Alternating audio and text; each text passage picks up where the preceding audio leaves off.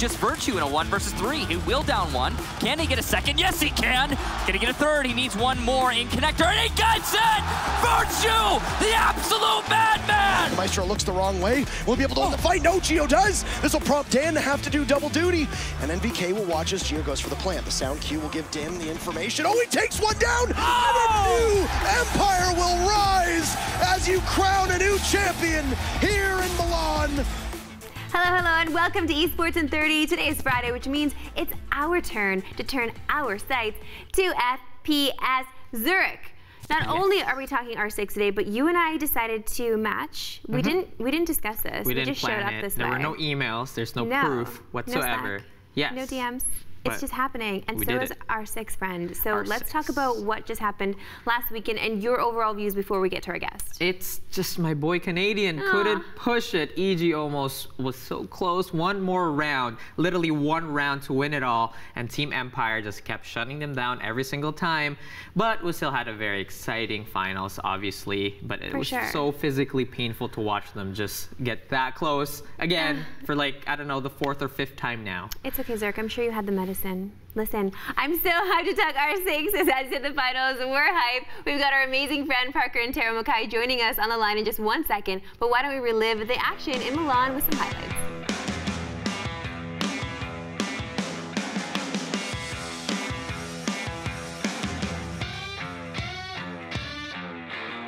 It's Yuna and Mav all alone outside, but Young all alone on his roster as he's going to end up picking up three kills. Oh my God, what is that? Young quad kill. Who does that? And now it's just Virtue in a one versus three. He will down one. Can he get a second? Yes, he can. Can he get a third? He needs one more in connector, and he gets it! Virtue, the absolute madman! Oh, Generator and busting out now. Unfortunate timing from Necrox as he just turned his attention away. Cyber taking care of Bullet and another one now. Going for three. Bullet lands them all, and that's NVK to fall. Nitro's not going to come out. It's going to connect with Canadian, but it's not going to be lethal. But I can tell you what is. Bullet, that's a 4K. That's going to be onto Young. Can he collect the ace? All he's got to do is breathe on this ash and Bullet all the way for the first round for Immortals on Oregon. Fnatic are so committed with Rizraz up top, Magnet down below. He finds one. He's still got a C4. Rizraz here as well, trying to pick away with the SMG-11. Sees the elbow for just a second, fearing a possible push from the side. Magnet will toss up a C4, finds Papilia. And Fnatic are bailing themselves out of trouble. Oh. Rizraz gets one as well. Oh. A second push! Oh my goodness! Seems to be that they want to try and go for a possible Ash Rush here. Is Canadian's going to go in the back slot? Nobody even knows what's happening. Is Canadian going to get this free headshot? He finds one. He finds two. Oh my goodness, almost gets three. It's all left up to Cyber coming up the main stairs, and I don't think he's got an answer for this. We'll see exactly what he can answer with. Flick's going out, but I don't think he's going to have too much to answer with that R4C by his side. Has to whip out the pistol. He's going to find Young. Can he possibly find Canadian playing inside of kids? Oh my god, he's going to. It's all left up to Geo Cyber. The absolute prophet, but no, Geo finally. Here we have it. Just because of the fact that you can't be going with the same speed at all times. You can't be going 100 no matter what. Oh!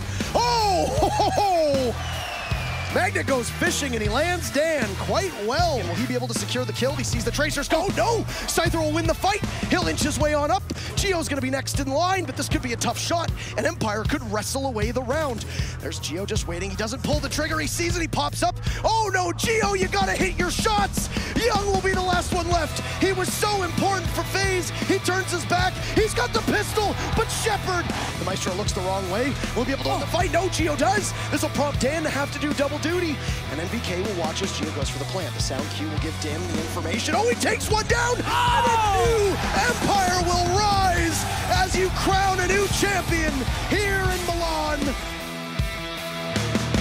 It was a tournament full of clutches, insane plays, triumph, and heartbreak. And at the end of it all, it was a new empire that was formed. Joining us to break down all of that and so much more, please welcome Interro back to the show. What is going on? Hello, how are you? I mean, we're excellent. So happy mm-hmm. to have you, looking dapper as per usual. Let's talk about EG's chokes here because there was like a big time throw in map two of grand finals. Otherwise, they played really well, but another heartbreaking performance. Can you walk us through EG's performance at this tournament and the absolute collapse during map two? Uh, Immortals was, I think, a little bit closer than I had expected over those two maps. Uh, FaZe, after they escaped the, the quarterfinals, I thought actually had a, a, good opportunity to go to the finals, but uh, they fell to EG in the semis. And at least what I saw was EG have this inability to close out games when there's a lot of pressure on them. Uh, this is the fifth time that they've finished second, if I remember correctly. If you go back and you look at uh, the Invitational 2018, the Paris Major, uh, DreamHack, and now, and I'm trying to remember the other one. And it's just like, it's crazy when you when you really think about it because they keep falling short every single time, and there's just something they're gonna have to do. Maybe it's mental. I don't know to get over that hump. Do you think how long will we have to wait for mm. for them to finally win a big LAN title? Because it seems like they're always so close, as you said, and yet so far. Mm. Um, so yeah, how much longer will we have to wait for them to finally win, or will they, you know, this constant heartbreaks eventually just destroy EG mm. before they even get there? Mm. I honestly don't really know. I, I don't know what's going on with that team. I don't know if it's if it's turmoil. I don't know if it's pressure and expectations. I don't know if it's emotions. I'm, I'm not entirely sure of, of why it keeps happening, but EG's been a team that's been on the precipice for quite a while of, of being able to to win at all, and then they just always fall short. So something needs to change at some point because you can't keep going into tournaments finishing second and then you know that's it. Right. Uh, this matchup in particular, it's just you know we saw in that second map they got really really close. They sat on match point for what three rounds it was. Yes. So and close yeah, and they just they threw it all away. And there were a couple rounds where I honestly think it wasn't necessarily so much Empire playing well. Empire did play well, sure, but I think more of it was just evil geniuses kind of tossed it away, especially two rounds, mm. and those mistakes ended up killing them. I mean, sadly, because if you ain't first, you're last. so let's talk about the first place, shall we? Because Empire wins it, as you just mentioned. Incredible journey from challenger to champions. We talked about it last time, but how is this finals win the culmination for Empire and their journey from challenger to champions at the Pro League? It's been really remarkable to watch them basically come out of nowhere. Uh, they were Room Factory back at the Invitational in 2018, and, and then uh, since then they've just really excelled. And I, I don't I don't really understand how they've been able to get so good so fast. they dropped Shockwave, they picked up Dan. I think there was some skepticism because Dan was largely unproven. Mm-hmm. He'd played for a bunch of smaller, you know, amateur level teams. He'd never really shown up on a big stage. By far and away, one of the least experienced professional players at the entire event. And he flourished. You know, he was he was awarded MVP by Siege GG. I, I think he brought a lot of fragging power and, and, and flexibility to that team. And honestly, it's really remarkable to watch Team Empire play because they don't really heavily counter strat. There's not a lot of flexibility on that team when it comes to strategies and operator roles. They kind of just do the same thing over and over and over again, but they excel at it and they beat you even when you know where they're coming from, or even where you know they're coming from, even when you know what they're going to be running with, they still manage to beat you in almost every single fight. A lot of that is a testament to their personal skill, but the team is very well coordinated and it shows. Yeah, I mean they they they were so close. I mean, eh, sorry, EG was so close to taking them. Yeah. They just couldn't do it. It was so heartbreaking. Yeah. yeah. Um, how do you think uh, Empire's success will impact not just the landscape of Europe, mm. but the entire CIS R6 scene in general? The CIS R6 scene is very interesting because it doesn't really exist right now. Um, it's you know it's been fun to watch because there's a lot of Russian talent. There's a lot of Ukrainian talent. You know, we've got some Kazakhstani talent too, if I remember correctly. You've got teams like Avenger, which is a massive organization that you know has a team that's not even in Challenger League. Uh, you know, you have Forza as well, which is where Shockwave from Empire went to. I think the whole region is going to continue to grow. Mm. What we tend to find is that when a team does really well regionally, it inspires people and their fans to compete as well, right? Yes. So you, you, see this in you saw this in Brazil. You see this to a certain extent in in the APAC regions as well. I have no doubt that Empire excelling is going to bring about more Russian talent, more CIS talent, etc. Yeah. Uh, how does it change the landscape in Europe? Good question, but I honestly think the real question that needs to be asked doesn't involve Empire. It involves G2 mm. because for, for me, G2 is still the best team in the world, mm. and they haven't lost that title. They didn't relinquish it just because they didn't compete in Milan. It's still theirs. The real test is going to be can Empire consistently beat G2? If they can, then we see a completely different landscape in Europe. But right now, we don't really know. So we can speculate as much as we want. Empire is a damn good team, and all of Europe is going to be consistently getting more competitive. But G2 is going to be the real focus in the wild card because they had some stumbles outside of the Invitational this year. If that keeps up, then it can end up being a problem. You mentioned the APAC region, and APAC region absolutely ki- like like region kill in round one, of course, as always, insanely close between Fnatic and Norarengo. Um, can you actually explain the dynamic between Fnatic and Norarengo and how their rivalry has actually shaped the APAC region? I mean, if you go back all the way to when APAC's first, you know, opportunity on LAN came about, which was Sao Paulo in season six, which was actually uh, my first LAN that I ever casted. Uh, the two teams that represented APAC were the team that is now Cloud9 and the team that is now uh, Fave Gaming. And uh, since then, it's been Norarengo and Fnatic representing the region at every single LAN. They've been so consistent, they've been so good.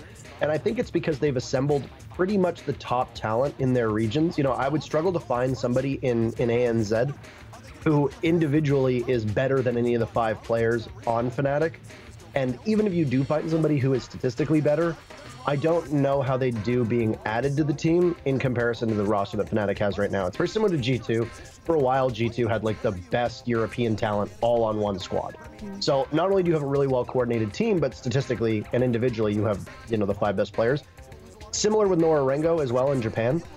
But Japan tends to be a bit deeper when it comes to talent in the region. Um, you know, Waka stepped off the team and they picked up Yoshingo, which is huge because statistically he was one of the best players in the whole region.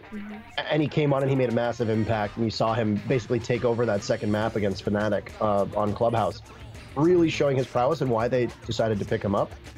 Uh, I think the fact that they're succeeding is is somewhat inspirational to the region because you have a high watermark to you know to essentially try to gauge yourself on to see yourself against and to compete against and having really talented teams that have lots of international competition does tend to trickle down because it makes your opponents get better because they have a lot of practice playing against you. Mm-hmm. As for the rivalry, because I know I gave you kind of a, a longer winded answer there. As for the rivalry, I think they met six times now, seven times. I'd have to get my notebook out to exactly tell you what the number is but Fnatic has had the upper hand in most of them. Mm. And if Walk is on that team in Milan, I don't know if Fnatic wins it. But with the addition of Virtue, Fnatic has just gotten continuously better. And if this team can get, you know, through the shakes and the nervousness, very similar to what EG does, they do tend to choke under pressure.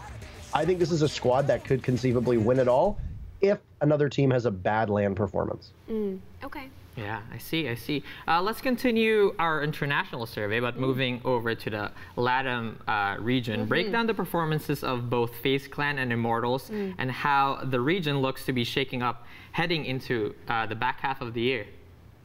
Immortals are a team that has really have really grown an awful lot. You know, that team for the longest time with Navis and Cyber on it have has been really top heavy. I think adding Bullet to that roster really helped them out and gave them a little bit more depth. And then, you know, having PX and M King as well. They're support players. They're not going to set the world on fire, but they're dependable, and that's what Navis and, and Cyber need. And whenever you watch them play against EG, if Navis or Cyber were in a 1v2, a 1v3, a 1v4, you can never count that team out because they're good enough mechanically to be able to carry their team through a 1vx situation.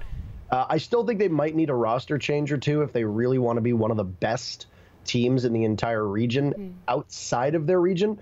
Brazil tends to have this really specific meta within their own borders that is very aggressive but gets countered quite hard on an international stage, which is why Latin America hasn't really seen the most success over the last, you know, eight months in comparison to Europe or even some North American teams.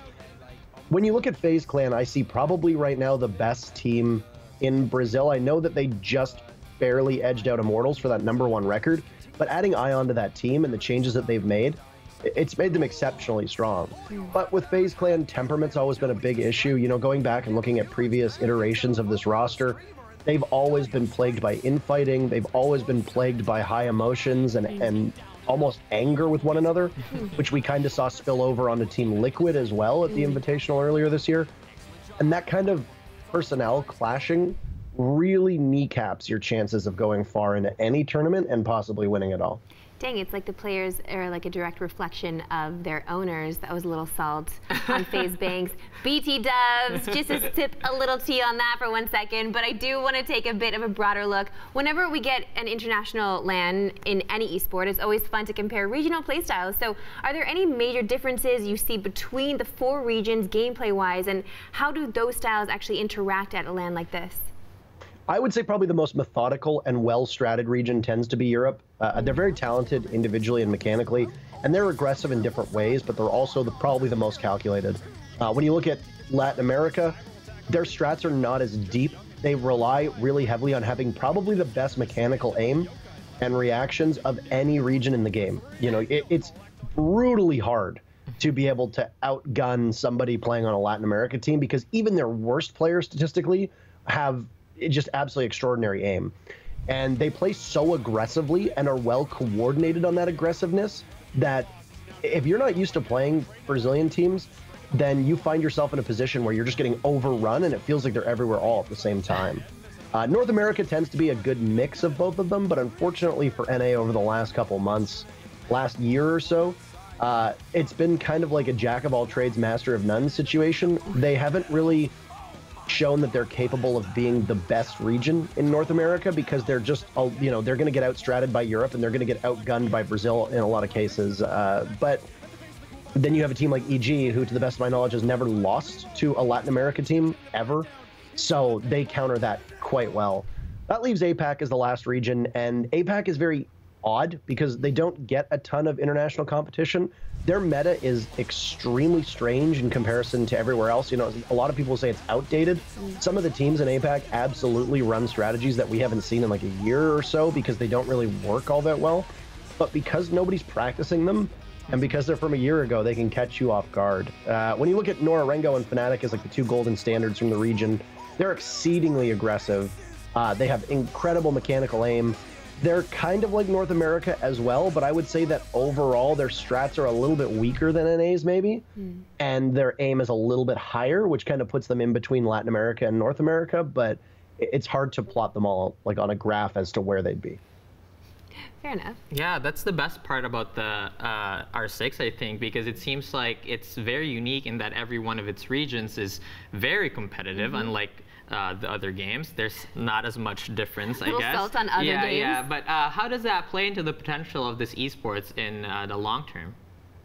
I mean, I think that if we see the amount of live events continue to increase as they have over the last couple years, uh, if we keep seeing nationals and regional competition increase too, there's a lot of uh, national programs that are coming up. You know, we had the Canadian Nationals, for example, that you might be quite familiar with. Uh, now we have the U.S. Nationals. It looks like there's a Spanish Nationals as well, if I remember correctly. There's like a Mexican Nationals.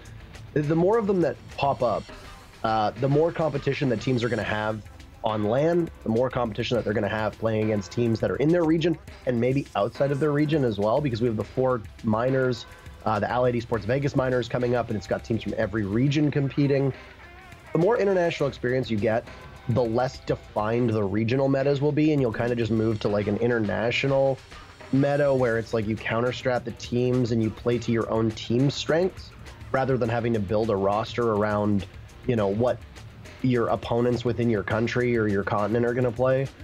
But I mean, we're still quite a ways out. We're only having like a, you know, maybe like a dozen significant LAN events a year when you count the national programs.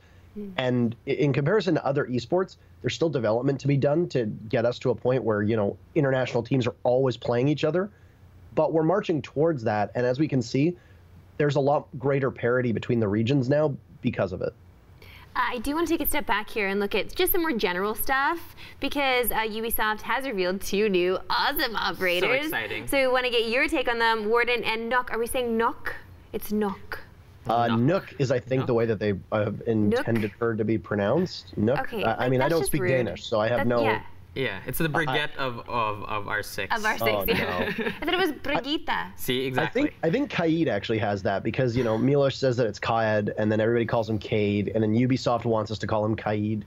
So okay, okay, okay. Um, I guess we have to go with whatever rolls off the tongue the mm -hmm. best. But mm -hmm. how are you feeling about these new operators? Mm -hmm. I, I think Kaid uh, is is fine, but I think Cade is obviously the fastest to pronounce. Nook is pretty easy, uh, and it, I mean it sounds fine. Most North Americans know that word. I've never pronounced the circle with the slash through it or the O with the slash through it, so I, I mean I don't know. Um, they're good. I, I, think they're I think they're entering at a very interesting place. Um, I don't know how immediately impactful they will be.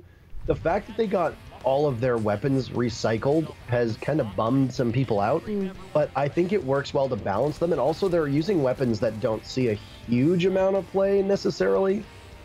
So it's good to actually, you know, see those weapons get used finally. Uh, the FMG comes to mind that Nook is using.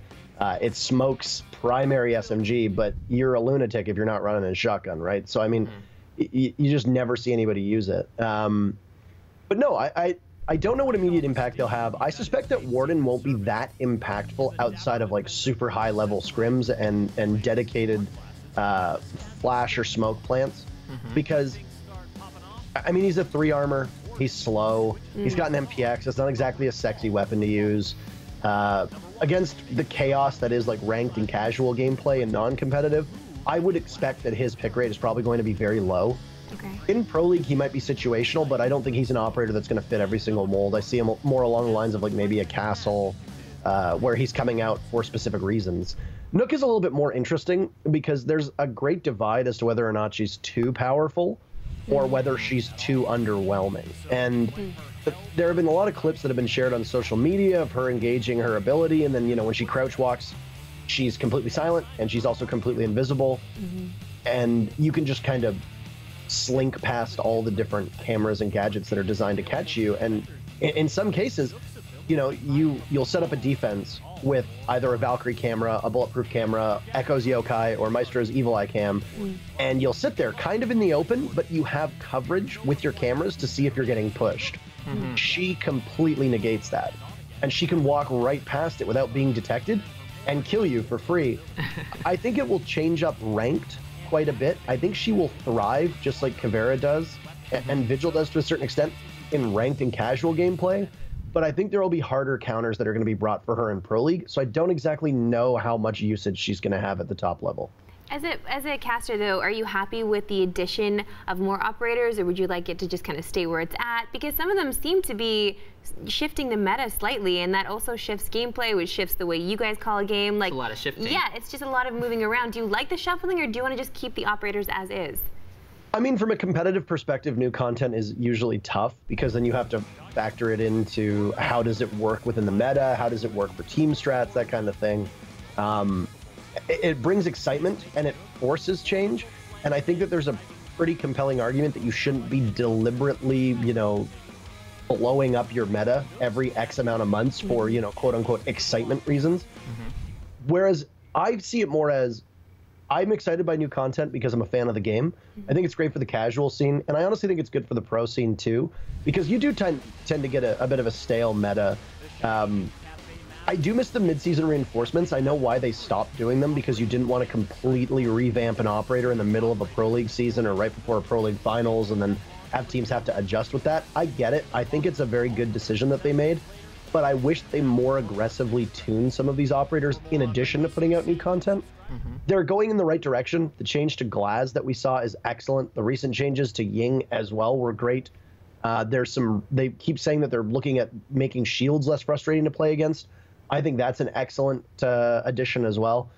So, almost everything they're doing for a competitive sense, Ubisoft at least, is pushing the game in the right direction. And new operators are cool as long as they're not coming out like some of the more broken operators like Lion, like Ella, like Blackbeard, like Maverick to a certain extent. And as long as they tweak them quickly, then I'm fine with new content. Okay. It sounds like I'm gonna start to main Nook now in, in ranked according to Interro.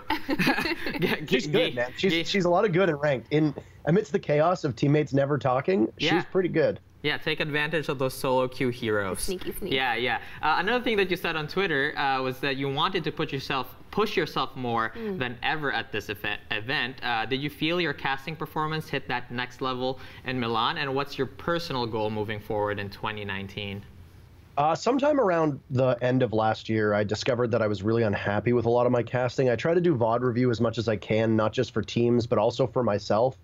And you know, if, if I'm unhappy after a match, I'll usually make a note of it and I'll go back and I'll rewatch it uh, and try to pinpoint exactly why I didn't like it. Maybe it was my energy levels. Maybe it's the way that I I, I kind of got lost a couple rounds. You know, I, it really depends on why I didn't end up liking it. And uh, I made a concerted effort uh, after the Invitational to basically be like, I want to make some significant changes. I, I did some soft changes before the Invitational, but I didn't want to blow up my casting because it's the biggest event of the year. But I had an opportunity uh, through this second half of season nine, especially when Milos and Kicks were gone, because I casted with uh, your boy, my boy, Flynn, quite a bit. Boy, yep. Uh, and I had like five or six days with him, and I'm I said to myself like I'm going to try to iron out all these issues Yeah. while I can, and uh, I it, it was a lot of work. I, I'm still pushing myself as best I can. I think that from an event perspective, I have never been happier leaving an event with my own performance mm. than Milan. oh, I mean, there's there's still drawbacks to my casting, you know, it, and it's somebody or it's something where it's like I'm not somebody who comes from a, a broadcasting background. Like, sure, I, you know, I, I did like Model United Nations and debate club and stuff like that, like in high school and university. And politician all. heart. I, I was, I did, I did actually have some uh, some training from that perspective, which was helpful. But I have no formal training when it comes to broadcasting, so I'm kind of just flying by the seat of my pants. And I watch a lot of real sports, so I like to think I know like what the casters sound like and all that jazz. But it, it's it's something where it's uh, I'm trying to word it correctly. I feel like Parker, you are being far too hard on yourself. Like way, way too hard on yourself. Like I just feel like the community loves you so much. amazing. You're such a You're amazing. Yeah, exactly. Even on Twitter, like you're such a G. Everybody loves you. You get so many likes, so many RTs. You really know how to play to your audience as well. So with that though, yes, my friend, we just have one one more thing we just wanted to bring up in case people didn't see it uh, on your Instagram or, or Twitter. We wanted to show off this amazing picture you shared from 11 years ago. So Parker, why don't you just uh, just dress yourself down here? First of all, what's with the Rogen look, friend? Did you even know it was going to be popping?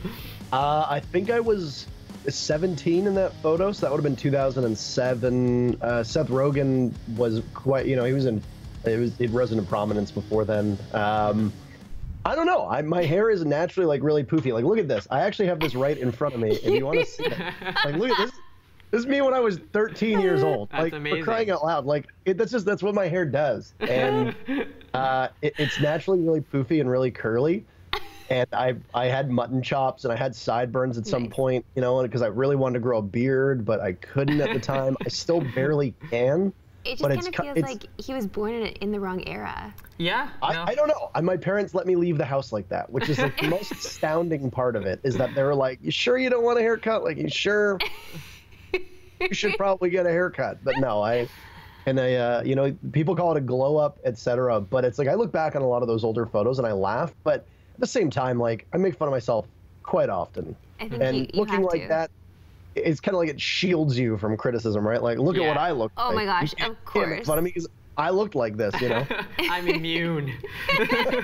Um, we're gonna let you go here, but quickly, can you just explain uh, the eggplant emoji and why your community has now tagged you as that exact emoji, and why, like, somebody puts that emoji down, they know they're talking about Interro. Like, it's insane. So, this is to go back and, and give you a bit of a background story. When we were in Rio de Janeiro uh, last year for the season eight finals, uh, I was out for dinner with uh, Zoronic, the analyst, and UB Justin, who used to do the panels up until very recently, and one of the community developers slash community managers for our game. And we were talking about Rainbow Six Twitter and how it's actually insane how Rainbow Six Twitter just it, it kills it when it comes to metrics and impressions. Like you'll see like after certain other esports matches, you know, like their their stars will tweet things and get very minimal traction. And it's outside of a couple really big figures, like most of the people in the scene get like nothing. But in Rainbow Six, it's like in the midst of like a big LAN, the most uh, you know, l- poorly well known or, or not well known person can literally tweet something and it just soars on likes Yeah. and impressions. It's crazy. And I said, like, you know, I made a joke and I said, you know, somebody could tweet an eggplant emoji and probably get two, 300 likes. and, then- then, and then they're just like, do it. And I said, And okay. So. I did it. And next thing you know, like half the community is spread is spreading eggplants around, and but now it's We- like you've got this tall order to live up to Interro. I know. So we got really bored uh, a couple weeks ago, like right before Milan, and I was talking to another friend about the whole eggplant thing, and he's like, "You should do it again and see how much, like, how it grows this time." So I was like, "Okay," and I messaged a couple people, and I was like, "Yo, post eggplants with me," and it just took like your off. phra- Interro, I can't with your phrasing. Like we need this is actually supposed to be a G-rated show at this point. So I'm just I'm just gonna like see how it grows in particular. I'm just gonna shut her down. Thank you so much for joining us Interro. We really appreciate the time, and uh, thank you so much for enlightening us with our steaks and eggplants and, and your hair. I'm very happy to be here. Thanks for having me. Okay, so if Interro is eggplant, what is Zurich? Hmm. I want to be a mango. You want to be a mango? Yeah. Okay. I'm already wearing the color, so that's All why. right. Okay. That's I don't have to change outfits. It's also, it's also you know, kind of tropical. Yeah, yeah, You're a, little, you're a little tropical. What I did you call yourself? Did you say you were a jungle? A were jungle, Asian. Yeah, you're, no, I'm, jungle. I'm an ocean Asian. you're an Yeah, ocean yeah, yeah. Asian, and Lisa is jungle. Yeah. We can discuss this later. Yep. Listen, let's talk about a new app that is related to mobile. Okay, obviously, Yep. so My Field Your and also genre. Mm-hmm. PUBG. So uh, let's talk about it because Free Fire is honestly quickly becoming huge. Yeah, it's it's pretty much a uh, lighter version of PUBG. It runs in a lot of phones, which means it's more accessible. Obviously, Mm. it's free. You can download with your app. The issue that I have with this game is every single sound file that they have is literally from PUBG. Like the Oh. footsteps is sounds exactly the same. The guns, the reloads. It's just they copy and pasted the sound files from PUBG and they put it in this new phone. But it is kind of good because then you know there are more players. There might be again an esports scene. These battle royales just keep popping in and out all over our mobile. So Yeah, so we what's don't wrong with even that? know. Nothing is wrong with that. I didn't say anything was wrong with that, Marissa. I feel like a little bit of salt.